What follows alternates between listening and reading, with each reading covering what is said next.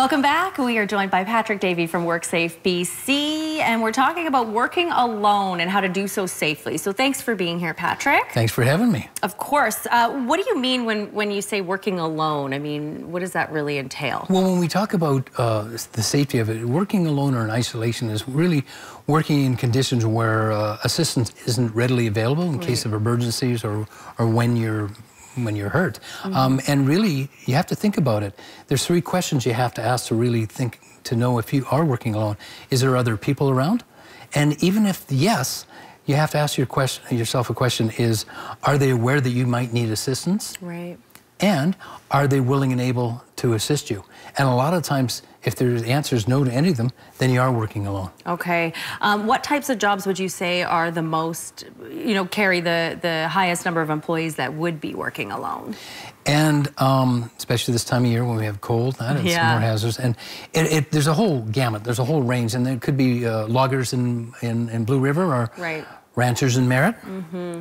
It could be uh, truck drivers or delivery. We're talking about uh, late night stores, uh, um, gas stations, convenience stores, and even healthcare workers are going into other people's homes. Yeah. They're working on, and which means that they're vulnerable because nobody's going to be around to help them if they need assistance. So why is it so important to take these precautions? And I mean, who who should be doing that? The employer, the employee, a mixture of both? So the employer really, you know, when it comes to health and safety of the workplace, it's employer's responsibility. And that's just one of the hazards. Of, mm -hmm. Do you have people working alone?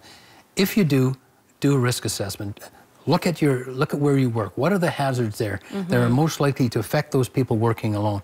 Some examples of that could be is there a cluttered storage area that somebody has to go and work in? And again, this is when they're working alone or do they have to do a, like a cash deposit right. at night? Mm -hmm. So there are a lot of things where people may be at risk and they're working by themselves. Yeah, um, and then after I guess uh, the the hazards or the prob potential problems are, are laid out, is there anything else employers can do? Well, um, I guess the, you have to prioritize look at them. Are the, there's things that you need to and can do right away. Yeah. Prioritize them and look at the things that you can eliminate hazards. Mm -hmm. um, and if you can't eliminate them, looking at look at engineering or administrative controls.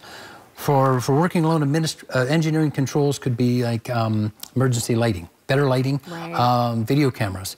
Administrative could be change when you're taking out the garbage in the back or the cash in the daytime, or have a second worker. So when it's important that when you do that is to make up really clear mm -hmm. written procedures for the checking of the well-being of your workers. Yeah, I was just going to say, um, putting it in writing, does that make a huge difference? Is that something that WorkSafe really recommends? Absolutely, because then it's it's formalized and it's consistent.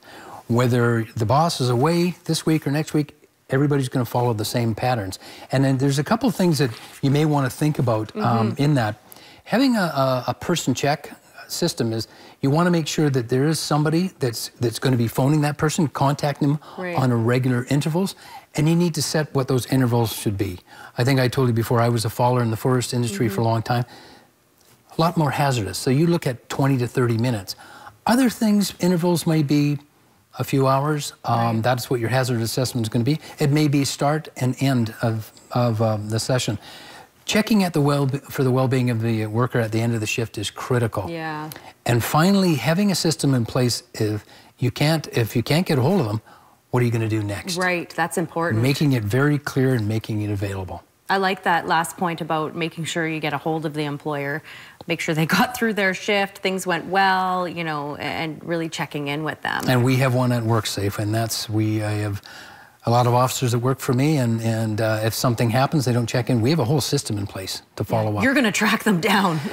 Because I'm concerned, and most employers are very concerned about yeah. their workers. Of course. Is there, uh, just quickly before we were running out of time here, Patrick, but I know that lots of employers, you know, they can only have one employee working at the time, you know, whether it be just because of the job or money, uh, yep. you know, it's expensive to have uh, several employers, but would, is it better to have more than one? I mean, is that sort of the well, and, and that's great. Can? It's it's great, but financially, is that practicable? Right. So it depends. And so if it isn't, um, again, you talk look at cowboys out on the range. Yeah. They're by themselves. A lot of the cowboys, what they have is they have a program. They'll have a spot device mm -hmm.